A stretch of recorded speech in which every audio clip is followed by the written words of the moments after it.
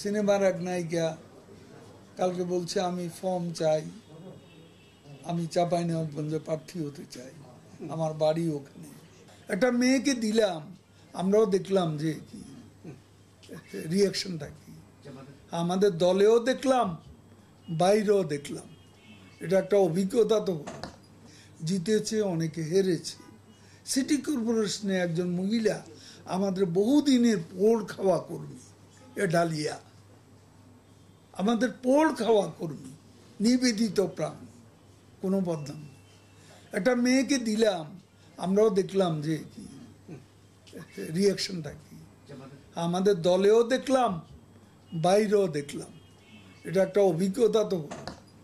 এজন্য যারা বলেন তেত্রিশ পার্সেন্ট করে না কেন, আওয়ামী লীগ এগুচ্ছে। কিন্তু উইমেন এম্পাওয়ারমেন্টে বিশেষ করে মহিলাদের চেয়ারম্যান বানাবো উপজেলা চেয়ারম্যান এবং যে কোনো সিটে ডাইরেক্ট ইলেকশনে নামাবো পার্লামেন্টে এটা আমাদের দেশে এখনও একটা চ্যালেঞ্জ এটা মেনে নিতে চায় না, আমাদের দলের পুরুষ নেতারাই মেনে নিতে চায় না। এখানে দেখেন রংপুরের অবস্থা, আমাদের নেতারা কি অ্যাক্টিভ ছিল? তাহলে কি আওয়ামী লীগের অবস্থা? আওয়ামী লীগ বড় তো সেকেন্ড হতে পারে এই অবস্থা তো হয় না। সেখানে সমস্যা হয়েছে। কিন্তু মহিলা, আমি আবারও জোর সঙ্গে বলছি, প্রার্থী নির্বাচন সর্বসম্মতভাবে আমরা করেছি এবং এখানে কোনো ভুল হয়নি।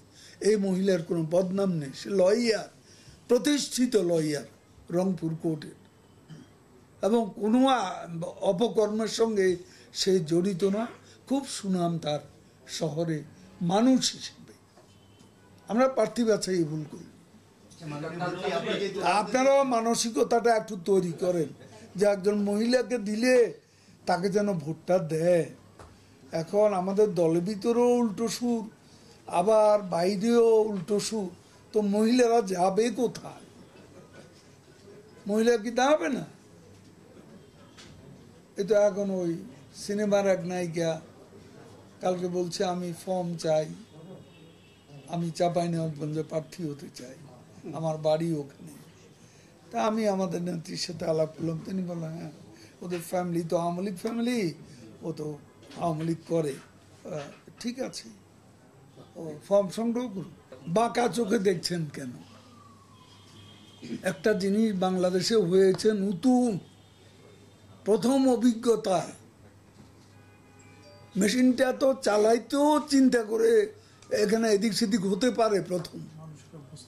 মানুষকে অভ্যস্ত করতে হবে। মানুষ তো টিকিট কিনতে দেরি করছে। এগুলো আমাদের আস্তে আস্তে ঠিক হয়ে যাবে। এগুলো নিয়ে বাঁকা চোখে দেখার কোনো কারণ